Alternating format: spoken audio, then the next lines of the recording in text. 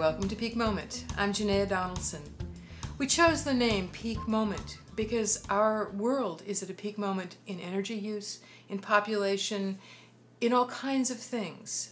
My guest today calls this a defining moment in history.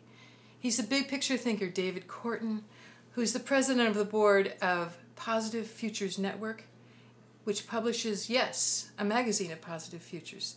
Thank you for joining me today. It's Tell my us pleasure. about a defining moment. Well, many of us have known for a long time that we were headed for a confrontation with the limits of the planet. It's no longer a future moment, it's here, Now, now. It actually becomes a moment of great opportunity. My own work has led me to an understanding that actually for the last 5,000 years of human experience, we have been organizing ourselves in a dominator model in our relationships, everything from relationships among states to mm-hmm. relationships among individuals and family members. so you have a dominant and a submissive, Yeah. subordinate, always, everything. Exactly. In, And what this means is that we've lived under a system in which the creative energy of the majority of people is systematically suppressed, mm-hmm. preventing their achieving their fullness of their human possibility. Now, we're finally coming up against the limits of an exploitative system, and we are in a position where we are forced to change. so that exploitation is not only of all the peoples, but you're talking about exploiting all the resources on the so many of the Yeah. resources on the planet. The planet is saying, Exactly. "I'm running out." And it's amazing, you know, it's all so straightforward once you begin to get into it that if you're going to organize societies on a dominator system, you ultimately end up expropriating most of the resources, the capacities of the society to maintain the system of domination. You know, that's what our military is about, or Okay. most of our police forces. Um, Maintaining also- that power structure. yeah, and including the, the palaces and temples that are the symbols of authority that, uh, you know, intimidate us and make us feel small relative to the system, powerless. Yes, yes, yes. Who Uh, just little nobodies, right? Yeah, and then the, you know, the rulers need to compensate their retainers to maintain loyalty and so forth. And you begin to see, you know, just how much of society's resources become diverted away from meeting needs of people, meeting needs of nature, to simply supporting a system that by its nature is very self-destructive. So what we have as an alternative? What do we? Where do we go from here? Well, it's time to learn to live in cooperative relationship with one another and with the planet. Well, there's partly you. You mentioned an imperative. I mean, part the the time is here. Yeah, And um, you speak about a there's a perfect economic storm. I mean, there's something pushing our backs to kind of force us this direction, or hopefully move this direction. Well, what? Yeah, um, what's happening in terms of the perfect economic storm? It's a, it's a convergence of the consequences of of peak oil, which is one of your defining topics, uh, climate change, which is Huge. greatly increasing the severity of uh, uh, you know the, the frequency of severe weather events all around the planet. And then, in terms of our own national situation in the United States, um, you know the we're we're seeing a growing gap between the amount of goods that we import from the rest of the world and what we export. Now that gap is basically a measure of the uh, extent of our accelerating uh, growth in our consumption beyond our own means. And we're essentially living on credit pro- supplied by the consumer credit, credit card credit from the rest of the world, and with no particular capacity to pay it back. Um, which means that eventually the rest of the world's going to get a little tired of supporting us economic deadbeats, and the the dollar will uh, will crash. I mean, it's already been in decline for, for some years, but uh, now all of these forces coming together, you know, we've we've created this corporate dominated, corporate led global economy. And and that actually taps back. We've got two books that we I didn't even mention that we're talking about. Your earlier book, When Corporations Ruled the World, um, you really dove into the negative effects of Yes. corporate world. Tell us about that. Yeah. Well, actually, it's kind of a long story, and the you know the lead up to that. That uh, uh, you know, most of my adult life, my wife and I lived in Africa, Asia, and Latin America, and we were part of the you know the international development establishment, um, trying to end poverty in the rest of the world by uh, stimulating economies and economic growth, and um, after about 30 years of working in that field, both working from domestically and overseas, uh, began to see that the patterns of what was you know what was happening were quite at odds with what we hoped would happen in the sense that more and more people were getting excluded. You were getting a you know a few very rich people, but um, most people were being forced into lives of greater desperation. Uh, we're seeing the collapsing of forest systems and uh, uh, coral reef systems and um, the you know pollution of rivers and air and so forth all around the world, but also seeing the breakdown of uh, of the of the social fabric of, of many once vibrant cultures, and started getting increasingly concerned about you know why is this happening? This disconnect, really. Yeah, and then you know became really disturbed when began to realize that you know it wasn't just in the places where we were working; it was every place, including in the United States and Europe and Japan and the, the countries that we had considered to be sort of models of the uh, positive outcomes of development. And the models the rest of the world thought they wanted to go towards. Yeah, exactly. And we were telling, you know, yes. you know be, be, be like more us. like us. Exactly. Right. So, um, you know, the more I got into trying to understand that, you know, at a deep level, it's about pursuing a development model that is that is grounded in financial values, in which every decision is evaluated based on financial return rather than returns to life or to, to living systems. So what would those those okay, the values of the economic system said mm-hmm. economic return. Yeah. The wealthy get wealthier in that exactly. System. See, that's a key thing. If you're if you're talking about returns to money, and that's the way the decisions are made, it really means returns to people who have money, which means the people who are already rich. Where it really began to come together is when we realized the extent to which, you know, the number of development projects, like, uh, you know, a, a forestry project or a dam project, or you'd have uh, golf course projects or shopping centers or whatever, or seaside resorts. In pretty much every case, you're ending up pushing poor people off of the land from which they produce their subsistence. Okay. You know, they're not making any money, they're just growing their food. Right. So they're not in the money system, but they're staying alive and, yeah. and building in the non So they're not contributing economy. anything to the economy. Oh. yeah. So see, we need to use uh-huh. those resources uh-huh. for things that will contribute to the economy, which means they'll generate money, which means they'll generate so returns the on the money. So yeah. Okay. So you end up with a few people have control of more and more of the real resources, uh, and making more and more money, which is the you know, which is the, the primary the token, value of primary that value. system. Yeah, and then you have more and more people into, into desperation with no means of supporting themselves. And that, of course, then floods the economy with, with cheap labor, people desperate to work at whatever wage is available. So that, you know, that supports our sweatshops and, you know, pushes people into being migrant agricultural workers and so forth, working for whatever pittance is available. And one of your points that you've made is that that really, that wealth, the system, the dominator system has been based on slavery in one form or the other and that's basically what we still have here. Yeah, well, say this is this is the other part of the story when you know began to put this together and came to realize that you know what we were what we're seeing around the world was an outcome of a system that that values that way. But then coming to understand you know the institutional structure and how the uh, you know how the major economic decisions are made by global financial markets and how that works, and then the the global corporations that are in a sense extensions of those financial markets and responding to their demand to generate ever increasing profits, financial profits.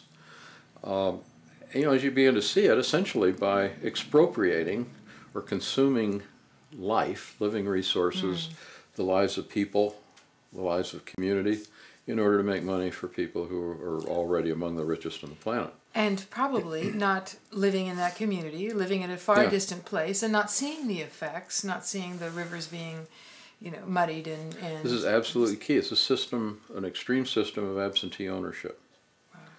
So, you know, all the decisions are being connections are made in the name of a set of owners who have no idea what they own, have no idea what the decisions are that are being made in their name, or the consequences of those decisions.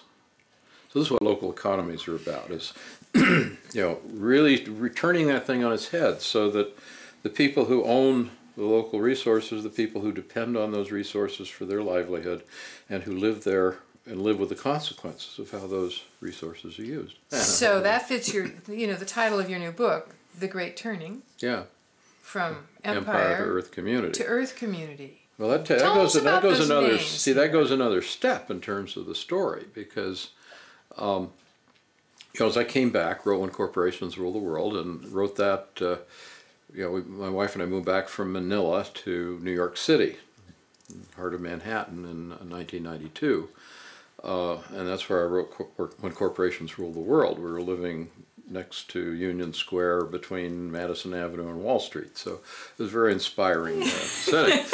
you were in the right place. in the right place. And the book came out in 1995, and it was just in a moment when people were beginning to get a sense of there's something wrong going on here. You know, all, this corporate outsourcing of, uh, of jobs, and the CEOs are getting these astronomical Yes. compensation packages, and it seems to be getting harder to get a decent job. And so, and far less security in those jobs. We watched that happen at Xerox. It's like what Yeah. used to be a security was no more. yeah, no more. Competition yeah, it's to all just survive. not about the people or the Mm-hmm. community, the families. It's just about the profits of the corporation and responding to the demands of these impersonal financial markets. So the, the, the, the book struck a chord. It helped people Mm-hmm. see at that moment what was happening and uh, got quite a major acceptance. Now, also that was that was kind of the beginning of, of a, a growing global awareness of what was going on, what these trade agreements are really about, and so forth Yes.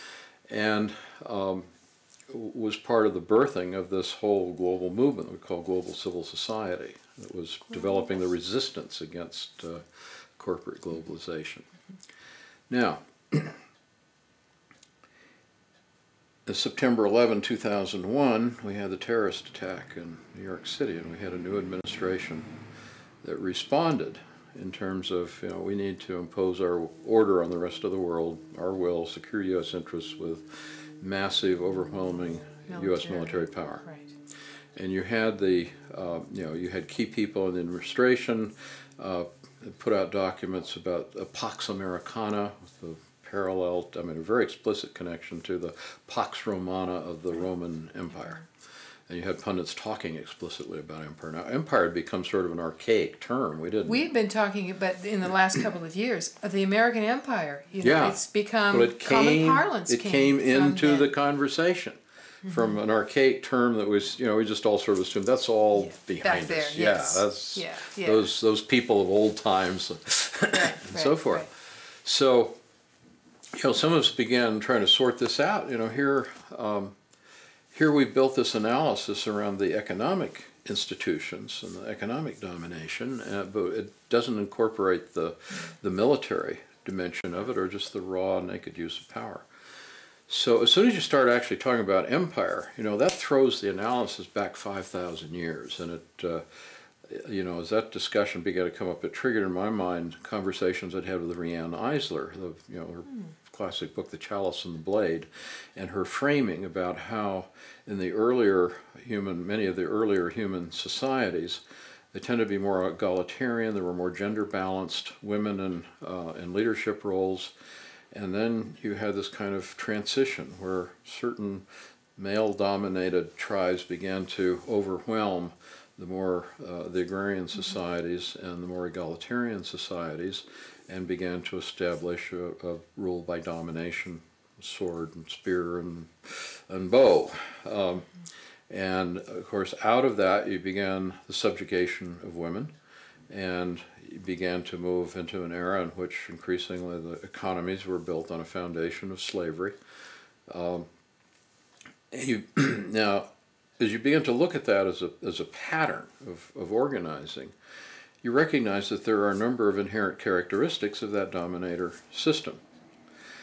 it basically pits every human being in competition with every other human Yes, being for the yes. few positions at the top.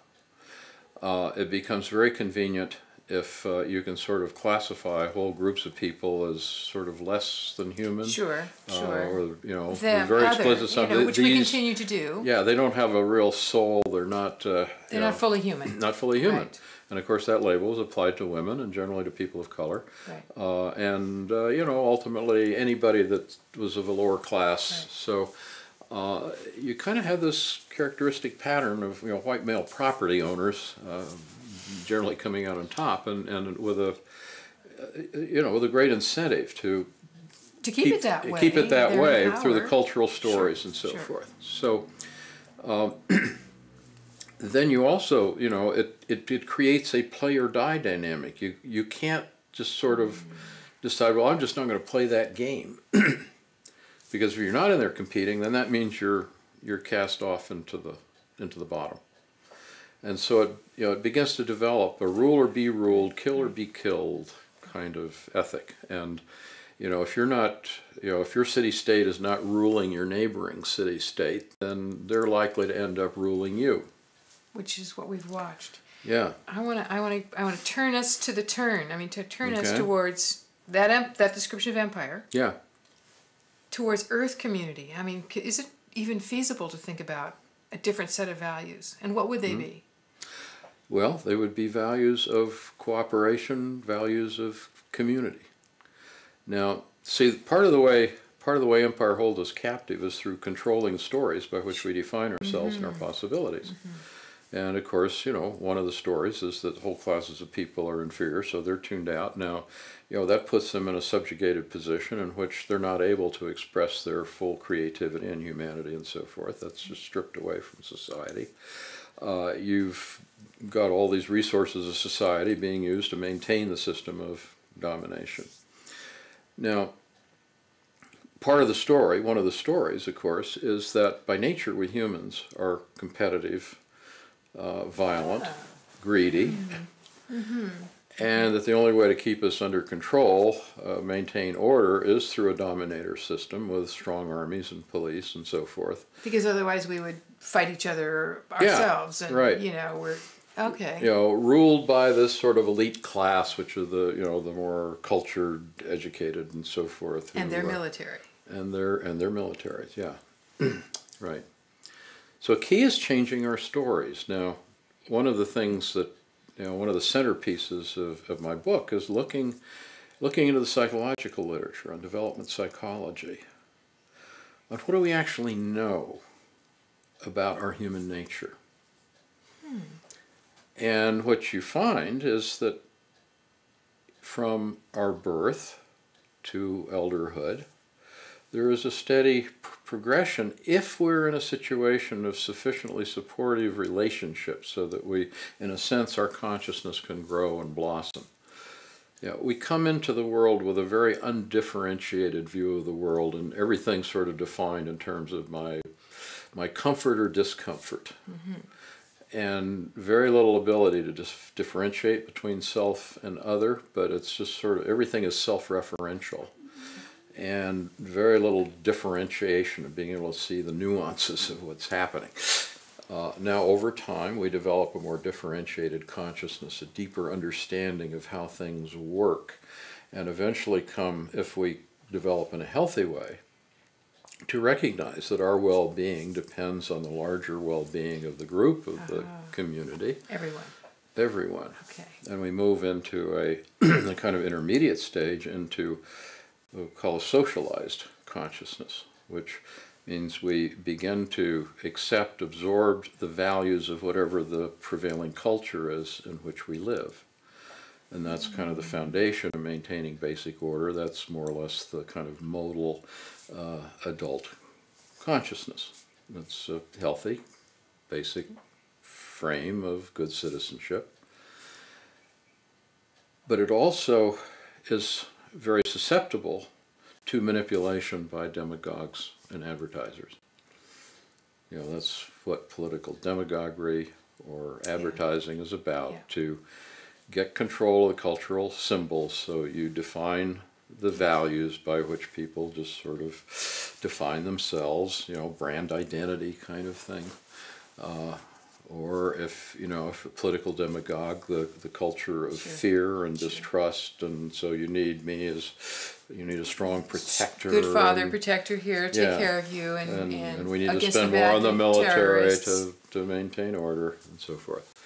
Um, now, uh, you know, so again, through, again for five thousand years, the the rulers have been very adept at controlling all those stories, and you know what we've seen here in the United States is that you know, we had this extraordinary experience after uh, after World War II of emerging with a relatively more egalitarian society and, and the built the strong middle class. And Yes. you know most of us grew up at a time when we just sort of took our democracy for granted. It seemed to, it seemed to We're work working very well, yes. yeah. And uh, you know we were the envy of the world. So hey. Yeah, yeah. this is this is it. Now, somewhere around in the mid '70s and '80s, you had you had a group of people with a different kind of vision, um, a vision that. You know, this was kind of you know ordinary people were getting too much power, and and uh, you know the, the the position of the elite classes was was threatened um, that we were, you know, becoming too, um, in certain religious groups that we were becoming too hedonistic. There wasn't not Yeah. not yielding enough to the to the religious establishment, and you you got an alliance of what I call por- corporate plutocrats, people who believe in rule by the rich, and religious theocrats who believe in a theocratic state. Um, essentially enforce the you know state enforcing a certain set of religious beliefs and norms uh, and they set about to fund think tanks media and so forth to begin to redo the stories in ways that uh, would strengthen essentially uh, elitist control That's- Which is where we find ourselves. which is where we find exactly ourselves where I find ourselves. And so they, you know, they managed to take control over a major part of the political system, including, I mean, kind of wholesale the Republican Party, but as well much of the Democratic Mm-hmm. Yeah, I mean, it, Uh, it seems to be pervasive in, in all yeah, the airways. pervasive everywhere. We have about four minutes, and Mm-hmm. I want I want to move towards the story. Yeah. w- To turn to turn that story around. Right. And is it emerging? Okay. The the key to understanding our potential is to understand the higher orders of consciousness. If we can break out of the socialized consciousness to the higher orders, which I call the, the next stage is the cultural consciousness, which we're seeing an awakening of a consciousness of culture that comes through increasing uh, cross-cultural exchange. I mean, like in my own case, I you know I grew up Oh, totally isolated, but I ended up with a life in which I was living among the rich diversity of world cultures, and so I became conscious that hey, culture is not a given; it's a it's a construct, it's a variable. And what that meant, and you know, as you see many different cultures, you begin to realize different values have different consequences Yes. and some are good and some are bad and and uh, you know And every culture's got different some some advantages but Yes. uh, in the end we are responsible for our own values. And culture being a variable is subject to choice. This is where the term cultural creatives comes in because Hmm. you know it requires this cultural consciousness and we can get creative about creating cultures that actually support the realization of the highest uh, the highest expressions of our human possibility so this is the first breakthrough. The, the the ultimate stage of human consciousness is the spiritual consciousness where we come back to a recognition of the of the unity of all being but with a highly differentiated sense of the you know the wondrous complexity of all of the all of reality and the living systems and the uh, the material and non-material, the spiritual, uh, and the, the sense of the continued unfolding of creation and of the human place within that unfolding. So then we begin to ask much deeper questions about what does it mean to be human and what is our place of service to the whole of creation as the human species. So this is a, and this kind of awakening is spreading throughout the world, partly because of the increased cultural exchange and communication, but also because we're seeing we're seeing in so many ways the interdependence of living systems and the interdependence of people. So we begin to experience that unity and the importance of each of us accepting a larger responsibility for the whole. And the picture of the planet that we got to see in the 70s is that, that wholeness. Yes. Um, we're also seeing it's a smaller planet just because of the Mhm. weather uh, Yep. effects and, and so on. It's you're starting Exactly. to see. Exactly. That was a defining moment. This that Mm-hmm. picture, that iconic picture from space, to see ourselves in a whole new way. And it helps us begin to think of, wow, you know, we're living together on a living spaceship. Mm. Now, you know, that's fundamental to a whole new thinking about our economics and relationships. I mean, if you think about living on a spaceship, it's kind of microcosm, but you know, you don't waste anything. Everything has to be recycled, and your total well-being depends on that. You, you can't live on a spaceship with a few people being in a dominant position and other people being totally excluded. I mean, you'll He's not you- going to survive. you're not going to survive. right, You that's will right. you will destroy the you will destroy the, the systems of the planet in the co- competitive struggle, and in the process, you will expire. we have um, that vision. I mean, it feels to me like that's that takes hundreds of years to make that, and yet we don't probably have hundreds of years in terms of the planet's resources to do that. We have to change Tune the like story this. like that. Change the story. Change the story. That is the key to the whole thing. Change our stories. I mean, partly it's it's decoding, it's exposing the old stories for what they are. They're propaganda. They're And they're falsified constructions the to keep us. Yeah, bring out the new stories. The one, the one. of possibility, of community, the interdependence of being, interdependence of life, and, Thank and you. the fact that that you know it is our nature ultimately to choose. May we choose that life, that choice. Thank you for this sharing. This has been wonderful. Thank you. This is Peak Moment, and I'm Janaia Donaldson. Join us for another episode of Peak Moment Community Responses to a Changing Energy Future.